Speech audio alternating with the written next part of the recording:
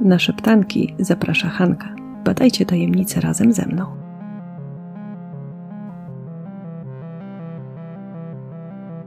Bianca Piper z Foley w stanie Missouri z całą pewnością nie miała łatwego dzieciństwa i to z kilku powodów.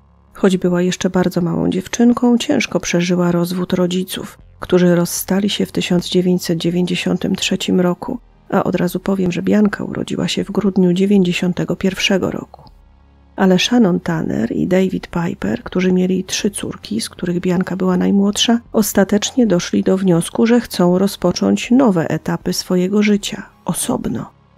David wyruszył do Fredericktown w stanie Missouri, gdzie był kierowcą ciężarówki. Natomiast Shannon wkrótce pogodziła się z tym, że musi rozpocząć wszystko od nowa i dała szansę niejakiemu Jimowi Feltowi który w październiku 2004 roku wprowadził się do kobiety i jej córek. Ale był i drugi ogromny problem, z którym od czwartego roku życia mierzyła się Bianka. Najprawdopodobniej miała ADHD. U niej łączyło się to z deficytem uwagi. Zdiagnozowano również chorobę afektywną dwubiegunową. Na pewno wiele zmian w jej życiu nie pomagało osiągnąć jej stabilizacji psychicznej i emocjonalnej. Dziewczynka często miewała wahania nastroju, potrafiła porządnie się zezłościć. Nie było jej łatwo zapanować nad swoim zachowaniem. Mama zdecydowała, że najlepiej będzie dla niej, jeżeli zacznie się uczyć w szkole dla dzieci specjalnej troski, ponieważ tam przygotowani do tego nauczyciele i terapeuci będą mogli nie tylko ją edukować, ale także wspierać i leczyć. W czasie, o którym mówimy, Bianka miała 13 lat ale uważano, że jej zachowanie i wiedza, którą udało jej się posiąść, klasyfikowałaby ją gdzieś tak w okolicach drugiej klasy szkoły podstawowej. Była mniej więcej na poziomie ośmiolatków, a to między innymi dlatego, że wiele zajęć jej umykało, a te, na których była i tak często przeciekały jej przez palce, ze względu na to, że miała trudności ze skupieniem uwagi i zapamiętywaniem. Na szczęście z każdym rokiem przybywało możliwości terapeutycznych oraz skutecznych leków, i wydawało się, że udało się trafić na te, które rzeczywiście opanowały te najbardziej doskwierające dziewczynie objawy. Ponadto, jak będzie potem wspominać mama, jeden z terapeutów doradził im coś, co od razu zadziałało. Ten terapeuta stwierdził, że napięcia, stres, lęki bardzo często u młodych osób daje się opanować czy też rozładować przez ruch, umiarkowaną aktywność fizyczną. Wystarczy więc przerwać spiralę emocji chociażby dłuższym energicznym spacerem. Terapeuta miał nawet podpowiedzieć mamie, jak zrobić to w praktyce najlepiej. W momencie, gdy wywiązałaby się jakaś awantura czy kłótnia i Bianka nie radziłaby sobie z emocjami, warto byłoby ją podrzucić na jakąś niewielką odległość od domu tak by w ciągu kilkunastu minut mogła sama na piechotę do niego wrócić. Początkowo Shannon nie była do końca przekonana, czy mogłoby mieć to faktycznie skutek terapeutyczny, ale postanowiła spróbować. I kiedy Bianka któregoś dnia zupełnie nie radziła sobie ze sobą, zachowywała się agresywnie, odwiozła dziewczynę mniej więcej pół mili od domu i nakazała jej energiczny spacer powrotny. Obydwie były zaskoczone efektami. Bianka, cała i zdrowa, wróciła do domu, uspokojona, zadowolona ze spaceru, a nawet lekko zmęczona, dzięki czemu ta nadmierna energia została, jakby metaforycznie, spalona. Shannon była zachwycona. Niedługo potem doszło jednak do awantury, która zaczęła się zupełnie niewinnie. Mama tego pamiętnego dnia poprosiła trzynastolatkę, by ta zmyła naczynia po kolacji. Ale dziewczynka nie miała na to ochoty. Odmówiła, zrobiło się nieprzyjemnie. Coś nerwowo mamie odpowiedziała i oczywiście wywiązała się afera. Po kłótni nastrój Bianki kompletnie się załamał. Mama była świadoma, że jest to skutek jej problemów zdrowotnych i reakcja jest nieadekwatna do tego, co się wydarzyło. Ale teraz miała już niezły sposób. Nawet sama Bianka ponoć doszła do wniosku, że super byłoby zastosować, tak jak poprzednio, mały wieczorny spacer. Córka jednak wiedziała, że jest dużo bardziej zdenerwowana niż ostatnio, zaproponowała więc, by tym razem było to więcej niż pół mili. I mama się zgodziła. Podrzuciła córkę mniej więcej mile od domu ale nabrała pewnych wątpliwości, czy tym razem to dobry pomysł, bo powoli zapadał zmrok, było coraz chłodniej. Uważała jednak, że córka mniej więcej w dwadzieścia minut powinna być w domu. Na wszelki wypadek wręczyła jej jeszcze latarkę i przypomniała, że nie wolno jej wsiadać do samochodu z nikim, nawet jeśli będzie zmęczona. Wtedy ma po prostu dojść sobie powolutku, bez pośpiechu, w wolnym tempie, ale nie może dać się nikomu podwieść. Nie wolno jej było również zbaczać z drogi, miała po prostu pójść prosto do domu. Tak naprawdę była jednak 18.15, więc też nie była to jakoś szczególnie późna pora. Shannon nie martwiła się może bardzo, ale jednak poczuła ukłucie niepokoju, gdy po godzinie Bianki nie było w domu. Był 10 marca 2005 roku, wieczór. Spacer przez kilkanaście minut oczywiście mógł jak najbardziej należeć do przyjemnych, ale potem już niekoniecznie. Było coraz zimniej, coraz ciemniej. Dlaczego Bianka miałaby przedłużać wyprawę? Shannon i jej partner Jim nie czekali już dłużej i ruszyli w drogę, którą powinna wracać nastolatka. Ku swojemu zdumieniu nigdzie jej nie zauważyli. Szukali do 20.20, kiedy to wrócili do domu i zawiadomili policję. Ta zareagowała bardzo szybko i energicznie, ponieważ funkcjonariusze zrozumieli, że po pierwsze mają do czynienia z nastolatką, więc jednak osobą niesamodzielną i nie do końca zaradną, tym bardziej, że Bianka miała dodatkowe problemy, które mogłyby jej utrudnić zareagowanie w jakiejś nietypowej sytuacji. Po drugie, aura nie sprzyjała pozostawaniu na zewnątrz. Policja jednak uważała, że tak naprawdę to pewnie najwyżej zgubienie się, zagadanie się z kimś, może jakiś nieplanowany przystanek, na którym coś odwróciło uwagę dziewczynki na tyle skutecznie, że oddaliła się od obranej początkowo trasy. Wszyscy mieli nadzieję, że szybko uda się trafić na jej ślad. Tylko, że pojawił się pewien problem. Temperatura wciąż spadała i już była poniżej zera, a na to Bianka z pewnością nie była przygotowana. Wybrała się tylko na szybki spacer, w trakcie którego miało być jej dość ciepło. Cały czas miała się ruszać. Nie była ubrana odpowiednio, by dłużej przebywać na zewnątrz. Zrobiło się groźnie i funkcjonariusze zdali sobie sprawę, że jeżeli poszukiwania nie przyniosą efektu szybko, to ta historia może skończyć się dość dramatycznie. Ostatecznie do rana w akcji brało udział już ponad stu funkcjonariuszy. Zaangażowano helikoptery, niektórzy policjanci przemierzali okoliczne przestrzenie konno. Udało się także ustawić punkty kontrolne na wszelkich rogatkach i ulicach wyjazdowych z miasta. Kontrole objęły każdego, kto wyjeżdżał z tej okolicy. Zaangażowali się również strażacy, którzy pytali mieszkańców o wszystko, co mogłoby pomóc w sprawie. Nakłaniali także do tego, by mieszkańcy zgadzali się na przeszukanie ich posesji. Liczono na to, że Bianka, zmarznięta i przestraszona, będzie szukała przede wszystkim schronienia w zamieszkałej okolicy. I nawet jeżeli nie zapuka do kogoś tak bezpośrednio, to może się schować w szopie, w garażu, no w ogóle w jakichś zabudowaniach.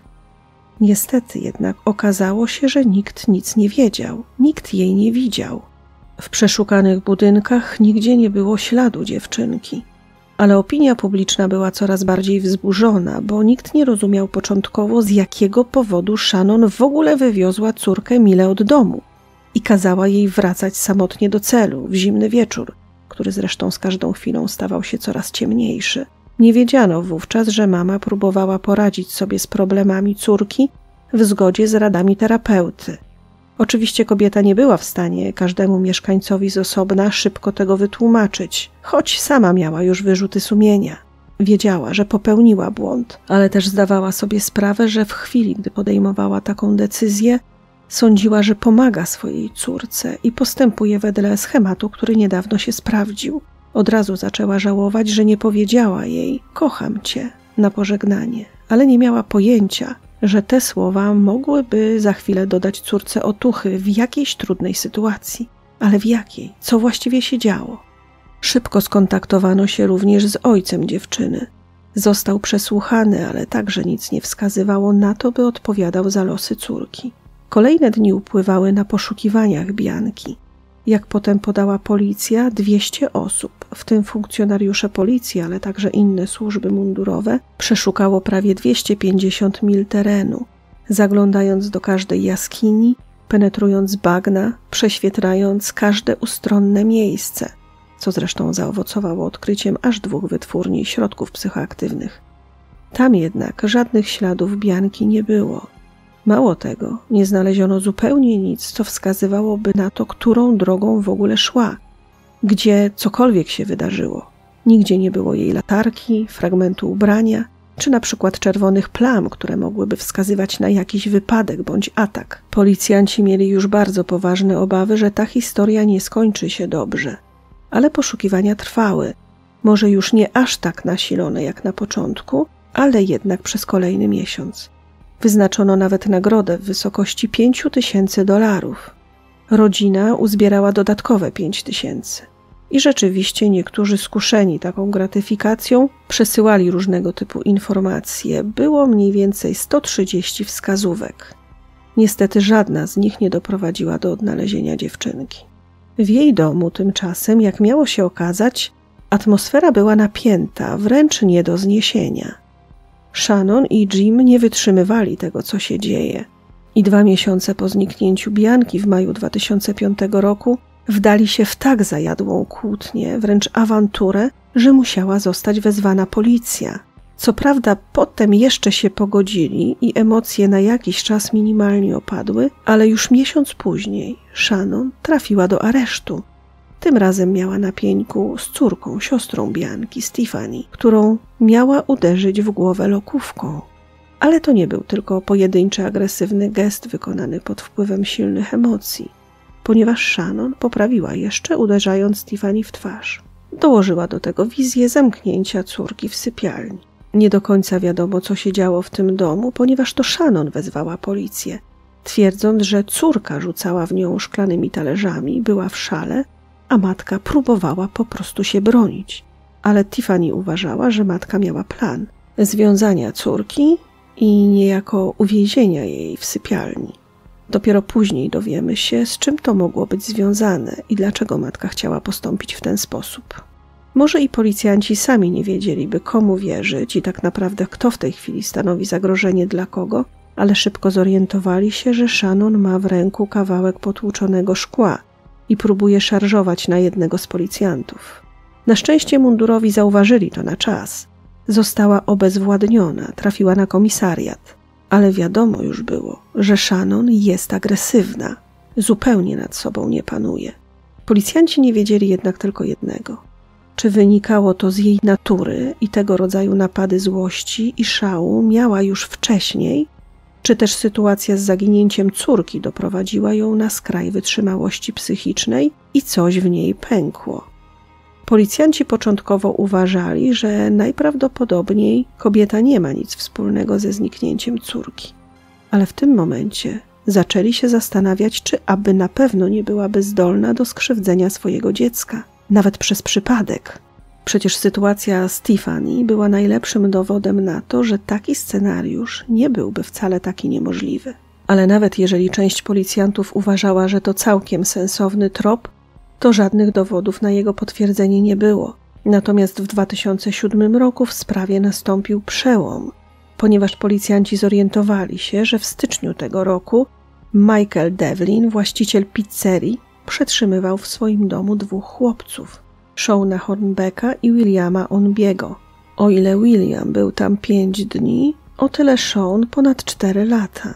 Zresztą menadżer pizzerii został później skazany na dożywocie – Rzecz jasna od razu skojarzono to, co się wydarzyło ze sprawą Bianki, sądząc, że być może i ona mogła stać się ofiarą tego przestępcy. O ile do przestępstw, za którego zatrzymano, przyznał się od razu, o tyle o Biance nie wspomniał nic, co pozwoliłoby śledczym ruszyć z miejsca – Powołano nawet specjalną grupę zadaniową, która miała zająć się znalezieniem dowodów łączących Michaela ze sprawą Bianki, ale również innych zaginionych w tej okolicy, jednak nie udało się już znaleźć więcej dowodów i poszerzyć oskarżeń. Grupa zadaniowa została ostatecznie rozwiązana. Policjanci prowadzący sprawę Bianki przez lata zastanawiali się, który trop miałby tu sens. Czy ktoś upatrzył sobie ją na ofiarę, czy też może nie wyszła nawet z własnego domu? Czy agresywna matka, być może do spółki z partnerem, mogła jej coś zrobić? Czy Shannon nie wytrzymała wahań nastroju córki? Czy doszło do jakiegoś wypadku, a może nawet celowego ataku? Wiadomo było, że kiedy nastolatka nie brała leków regularnie i w odpowiednich dawkach, miewała halucynacje. Traciła kontakt z rzeczywistością. Potrafiła być zdezorientowana i splątana. Czy więc uległa jakiemuś wypadkowi? Ale jeśli tak, to gdzie jest ciało? Przez miesiąc setki osób przeszukiwały cały teren. Wydawało się, że bardzo dokładnie. Czy może należało więc brać pod uwagę, że w trakcie spaceru zagapiła się, straciła orientację i na przykład wpadła pod samochód, a kierowca, chcąc uniknąć konsekwencji, włożył ją szybko do auta i wywiózł zupełnie gdzie indziej? Ale jeżeli tak, to dlaczego na trasie nigdzie nie było śladów wypadku, hamowania? Tych opcji było sporo, ale nagle doszła jeszcze jedna, zupełnie niespodziewana i szokująca. W 2014 roku Tiffany, siostra Bianki, która miała wtedy 24 lata, trafiła do więzienia na 8 lat. Po tym, gdy usiłowała podstępem przekazać przestępcom dwie licealistki, które miały być potem zmuszane do świadczenia wiadomych usług. Sama Tiffany jednak nie kryła, że to, co się wydarzyło, było konsekwencją zniknięcia jej siostry, ponieważ po tym wydarzeniu bardzo się zmieniła. Nie uczyła się już tak dobrze, obracała się w podejrzanym środowisku, wychodziła często na imprezy, spotykając się z podejrzanymi typami, niby raperami, którzy jednak zaangażowani byli w handel żywym towarem. Co przerażające, sama padła ich ofiarą. Udało jej się wyswobodzić w 2012 roku, ale najwyraźniej nie odcięła się do końca od tego środowiska, ponieważ, jak już wiecie, sama podjęła się potem upiornej działalności. Na szczęście szybko została złapana i skazana, tak jak i jej wspólnik, który w kwietniu 2014 roku usłyszał wyrok pięciu lat więzienia. Ale cała ta historia każe się zastanowić, czy faktycznie Tiffany zmieniła się pod wpływem rodzinnej tragedii, utraty siostry, która całkowicie zachwiała jej równowagą psychiczną, i to być może doprowadziło ją do uczestnictwa w niebezpiecznych sytuacjach, a ostatecznie skończyło się tym, że sama stała się ofiarą przestępstwa, a potem przeszła na ciemną stronę mocy, czy też może już wcześniej wykazywała jakieś przestępcze skłonności. Potem Shannon, matka, powie, że właśnie o to, co wyprawiała wtedy jej córka, poszło Rzeczywiście, po tym, gdy zniknęła siostra, kłopoty Stefani bardzo się nasiliły. Przestała się zajmować nauką, domem, jakimikolwiek obowiązkami. Interesowało ją tylko imprezowanie i złe towarzystwo. Matka próbowała ją zatrzymać, nie puścić na te imprezy, choćby za cenę zamknięcia w sypialni. Nie pomogło jednak i Tiffany wplątała się w ogromne problemy. Tiffany jednak niejasno wspominała, że w bardzo młodym wieku stała się ofiarą wykorzystania. Gdzie to było? Czy w domu, w rodzinie? Czy Shannon o tym wiedziała i czy jej siostra, Bianka, również padła tego ofiarą? Szczegółów niestety nie znamy. Wydaje się jednak, że aż do dziś najbardziej popularną teorią, i tu Was pewnie nie zdziwię, jest ta, że matka co najmniej wie o wiele więcej niż mówi. Pod artykułami na temat tej sprawy trafiłam nawet na wypowiedzi osób, które przechodziły terapię z podobnych przyczyn co Bianka. Czy to na Reddicie, czy na innych stronach, włączają się one chętnie w dyskusję, podkreślając, że specjaliści od zdrowia psychicznego owszem zalecają ruch, sport, czasem uderzenie w poduszkę, odpychanie się od ściany tak mocno jak tylko można i wiele innych całkiem skutecznych metod rozładowywania emocji czy napięcia ale kompletnie nikt z terapeutyzowanych młodych ludzi nie usłyszał nigdy rady wychodzenia na spacery bez nadzoru dorosłych, po ciemku i chodzenia trasą, na której nie mogą w razie czego nagle zwrócić się do kogokolwiek o pomoc. Każdy terapeuta przede wszystkim zwraca uwagę na bezpieczeństwo. Jeśli zaleca sport, to pod kierunkiem trenera, jeśli spacery nieletniemu, to pod okiem dorosłego. Wiadomo, nie chodzi o to, że jeżeli młody człowiek w środku dnia wybiera się na przykład do sklepu czy gdzieś na podwórko, to będą z nim chodzić rodzice. Jednak, jeżeli są jakiekolwiek okoliczności, które sprawiają, że młody człowiek jest daleko, sam, niedostatecznie wyposażony, czy na porę roku, czy na okoliczności, z pewnością odradzaliby tego typu terapię. Nie bez znaczenia w tej sprawie jest to, że był to zimny marzec, więc wieczorny spacer to też nie jest coś, co można by wprowadzić w życie od tak, nie przygotowując się do tego.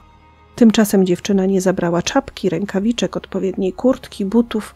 Ubrała się raczej lekko, co oczywiście miałoby sens, gdyby na przykład starała się chodzić wokół domu i w każdej chwili mogła przerwać aktywność, wchodząc do ciepłego pomieszczenia. Ale wieczorem, mile od domu, chłód mógłby się okazać groźnym przeciwnikiem. Przypuszcza się, że terapeuta mógł powiedzieć coś w rodzaju spacer dobrze robi, ale mając pewnie na myśli taki zwykły, w biały dzień, ciepły, a nie samotną wyprawę w coraz ciemniejszy, zimny wieczór. To wręcz traumatyzujące i nieetyczne, a nie relaksacyjne. Cały ten pomysł wydaje się więc bardzo dziwny. Na tyle, że Shannon w swojej okolicy z czasem była wytykana palcami. Szczególnie, że przecież to ona jako ostatnia widziała Biankę. Sugerowano, że żadnego spaceru nie było. W tym domu po prostu doszło do ogromnej awantury, która skończyła się jakimś urazem dziewczyny, przypadkowym bądź nie. A mama na poczekaniu wymyśliła historię o terapeutycznym spacerze, całkiem bezsensownym. Tylko, że jest coś, co podważa ten scenariusz. Bo jeżeli faktycznie w domu doszło do jakiejś walki, kłótni, to policja, która zjawiła się tam dość szybko, zauważyłaby pewnie jakiekolwiek ślady. Dom byłby w nieładzie, być może gdzieś byłaby krew, potłuczone naczynia, poprzewracane meble albo ślady sprzątania. No owszem, mogło się to zdarzyć dużo wcześniej, rodzina mogła zdążyć posprzątać. Wtedy może jednak czuć byłoby chociaż zapach wybielacza. Coś zwróciłoby uwagę policji. Przede wszystkim sąsiedzi zapewne słyszeliby wrzaski czy cokolwiek, co wskazywałoby na to, że coś złego dzieje się w tym domu. Być może dlatego policja dość szybko wykluczyła ten scenariusz, a Shannon, która potem spotykała się często z dziennikarzami i przypominała historię swojej córki w nadziei na rozwiązanie sprawy, prezentowała się dosyć wiarygodnie, jakby rzeczywiście szukała odpowiedzi i miała wyrzuty sumienia w związku z tym, co się stało. Może więc ktoś, korzystając z tego, że było ciemno, zimno, zdecydował się zaproponować dziewczynce podwózkę, a ona się chętnie zgodziła. Jeżeli rzeczywiście była zdezorientowana, cała w emocjach, a do tego jej możliwości intelektualne oscylowały gdzieś wokół tych dziecka w wieku 8 lat, to z pewnością taka manipulacja nie wymagałaby od przestępcy zbyt wielkich zdolności. Tylko nie ma żadnych dowodów, żadnych świadków, śladów, które by wskazywały na taki scenariusz. No właśnie, ale wracając do kwestii świadków i tego, czy w ogóle ten spacer się odbył, trzeba zwrócić uwagę na coś jeszcze. Bianka miała 170 cm wzrostu, ważyła około 60 kg. Była dość wysoka, postawna jak na swój wiek. Na dodatek miała na sobie limonkowo-zieloną koszulę i białe tenisówki. Zdecydowanie rzucałaby się w oczy, szczególnie, że szła z latarką. Trasa, którą pokonywała, nie była może jakąś najruchliwszą w tamtym rejonie, ale zdecydowanie po godzinie 18 nie brakowało tam przejezdnych, a jednak nikt jej nie widział wracającej do domu. Domu zresztą, jak się wydaje, jednak dysfunkcyjnego, pełnego agresji i wybuchów emocji. Dziewczynka otrzymała diagnozę bardzo wcześnie, w wieku czterech lat. Tu oczywiście należy zachować odpowiedni dystans, bo tak naprawdę nie wiemy, czy specjaliści podający się za takowych w internecie faktycznie nimi są, ale zakładając, że tak, to komentowali oni, iż najprawdopodobniej taka diagnoza choroby afektywnej dwubiegunowej u tak małego dziecka była postawiona zdecydowanie przedwcześnie. Raczej się tego nie praktykuje, no i nie wiadomo, czy problemy dziecka w jakimś stopniu nie wynikały z tego, w jakim środowisku dorasta. To, co stało się później z Tiffany, również wskazuje na fakt, że w domu mogły być poważne problemy, dysfunkcje, coś z czym dziewczyny ewidentnie sobie nie radziły. Wydaje się, że dom nie był ich bezpieczną przystanią. Komentatorzy często podkreślają też, że w tamtych czasach zdecydowanie zbyt łatwo wykluczało się z kręgu podejrzanych osoby, które pozytywnie przeszły test na wykrywaczu kłamstw. A jest to narzędzie dziś uważane za niegodne zaufania. Nikt już nie zdecydowałby się na zaprzestanie przyglądania się podejrzanemu tylko dlatego, że przeszedł test. Wydaje się jednak, że w tamtych czasach coś takiego mogło się wydarzyć, to mogło wystarczyć. Tymczasem historia Stefani, uderzoną lokówką, uruchamia wyobraźnię. A może Bianka również czymś dostała?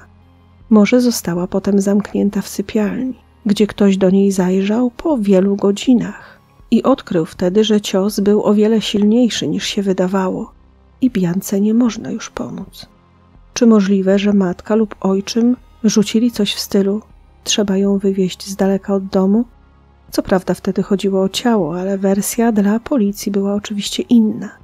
Jest to tylko przypuszczenie, jedna z teorii, ale oparta zdecydowanie o to, co jest udokumentowane, bo matka jednak napadła na Tiffany, również na policjanta.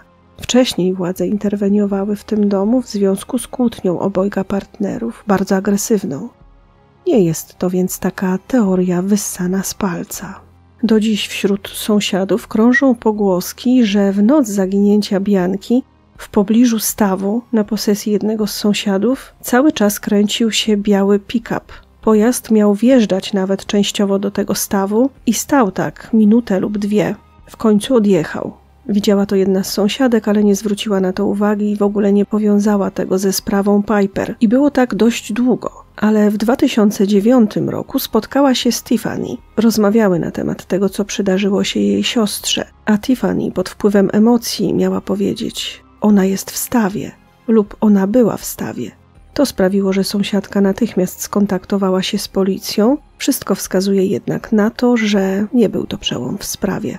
Natomiast sama matka przy różnych okazjach twierdziła, że Tiffany ma chorobę afektywną dwubiegunową i schizofrenię, nie należy jej więc ufać. Ile w tym prawdy, trudno powiedzieć, ale wiadomo, że przez pewien czas dziewczyna była pod opieką babci. To nie mama się nią opiekowała, co też jest dość znaczące, bo może wskazywać na to, że w tym domu nie układało się najlepiej. Pytanie tylko, od jak dawna? Ale myślę, że przy tej sprawie nie ma co upierać się przy tym jednym konkretnym wątku, bo są i inne. W pewnym momencie policja miała przyglądać się teorii, że zniknięcie Bianki miało jakiś związek z atakiem na Angelę Marię Hausmann 18 listopada 1993 roku. Angela była uczennicą czwartej klasy szkoły podstawowej. Wszystko to rozgrywało się na cichych przedmieściach St. Louis w stanie Missouri, w St. Anne, Wysiadła ze szkolnego autobusu na swoim zwykłym przystanku, tam gdzie zawsze, a było to naprawdę blisko domu. Od przystanku do jej posesji było mniej więcej osiem domów. Nie wróciła jednak do domu. Poszukiwania trwały dziewięć dni. Znaleźli ją myśliwi w lesie. Sprawca, który pozostawił ją przy drzewie, naraził ją na wychłodzenie, ale nie to było najgorsze. Miała wiele obrażeń, ewidentnie została wykorzystana. Nie miała też dostępu do jedzenia, pewnie mniej więcej przez tydzień. W marcu 2019 roku laboratorium kryminalistyczne wprowadziło do bazy CODIS DNA znalezione na miejscu przestępstwa. Pasowało do 61-letniego Erla Webstera Coxa. W chwili zniknięcia dziewczynki mieszkał trzy przecznice od szkoły Angeli. Wcześniej był oskarżony o napaść także na nieletnich. I to jeszcze wtedy, gdy służył w siłach powietrznych Stanów Zjednoczonych. Tak czy inaczej, w czerwcu 2019 roku został aresztowany, oskarżony, ale przyznał się do tego, co zrobił Angeli. Odsiaduje karę dożywocia. Od razu pomyślano, że to może być winny w sprawie Bianki. Do tego jednak się nie przyznał. Sprawa jednak pozostaje otwarta i biuro szeryfa hrabstwa Lincoln przygląda się wszystkim wątkom, jak twierdzi. Sprawdza nawet tropy, które wskazują na to, że Bianka żyje. Raz nawet udało się zadzwonić do pewnej rodziny, której częścią miała być dziewczyna mogąca być Bianką. To się jednak nie potwierdziło. Było trochę więcej takich sytuacji, no ale wiadomo, jak to jest z tym podobieństwem.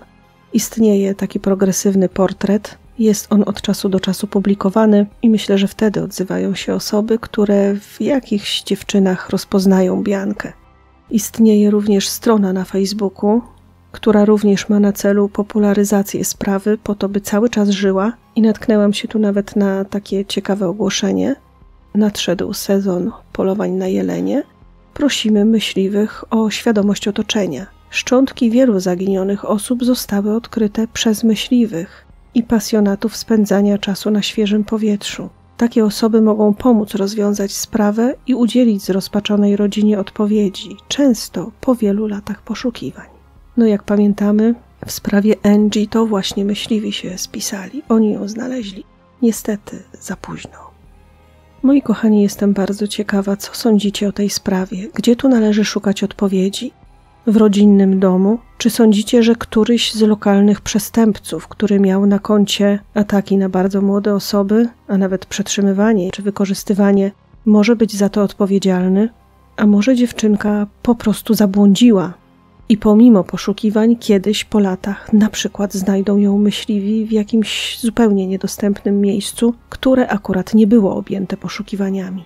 Czy sądzicie, że między siostrami mogło dojść do jakiejś groźnej sytuacji? Jaką rolę w całej tej sprawie odgrywał ten biały samochód, który próbował wjechać do wody, być może tyłem, po to, by ktoś niepostrzeżenie niby wypchnął ciało do wody? Przynajmniej taka była podobno wersja Tiffany. Czy mogło tak być? Czy to ona poprosiła kogoś znajomego, by pozbył się jej siostry? Z jakiego powodu? Czy był to jakiś plan Tiffany? Czy kogoś z jej znajomych? Powiedzmy sobie szczerze, podejrzanych znajomych, którzy zajmowali się, można powiedzieć, biznesowo wykorzystywaniem młodych kobiet? Czy z Bianką coś poszło nie tak? Czy na przykład z powodu tego, że była tak chora, nie nadawałaby się do realizacji planów porywaczy? ale mimo to mogła opowiedzieć, co chcieli zrobić. Czy dlatego się jej pozbyli? Czy siostra o tym wiedziała? Czy ten biały van powiązany był na przykład z rodzicami lub jakimś innym krewnym? Ale oczywiście nie można wykluczyć, że albo ta sąsiadka kłamie o tym, że rozmawiała z Tiffany na ten temat, albo Tiffany po prostu to wymyśliła, bo matka ma rację i ta dziewczyna ma problemy psychiczne. A przede wszystkim, jak wy widzicie ten terapeutyczny spacer? Czy rzeczywiście sądzicie, że to ma jakikolwiek sens? Czy ktokolwiek wywiózłby trzynastolatkę mile od domu w marcu po godzinie 18, kiedy z każdą chwilą jest coraz ciemniej, a temperatura zaczyna oscylować wokół zera, i kazał jej wracać do domu, wręczając jej po prostu latarkę i upominając, by uważała na siebie? To mi trochę przypomina zniknięcie Stevena Clarka, o którym Wam już tu opowiadałam, bo też mamy tutaj rodziców, być może zmęczonych niepełnosprawnością dziecka i tajemniczy spacer, który miał pomóc. Jednak jego scenariusz jest tak dziwny, tak absurdalny, że podejrzenia ostatecznie kierują się na rodziców.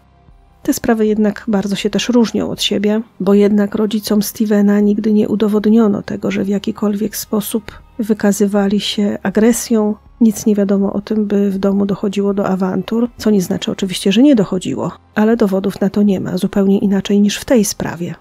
Ten wielki guz na głowie Tiffany jednak sporo mówi. Czy nie jest to jednak zbyt oczywiste? Dajcie znać, moi kochani. Dziękuję Wam za to, że byliście, wysłuchaliście, jeżeli nie znacie jeszcze odcinka o zdumiewającym zniknięciu Stevena Clarka, to bardzo Was zachęcam, by go poznać, bo to jest niesłychana historia. A teraz już moi kochani, dziękuję, buziaki, papa.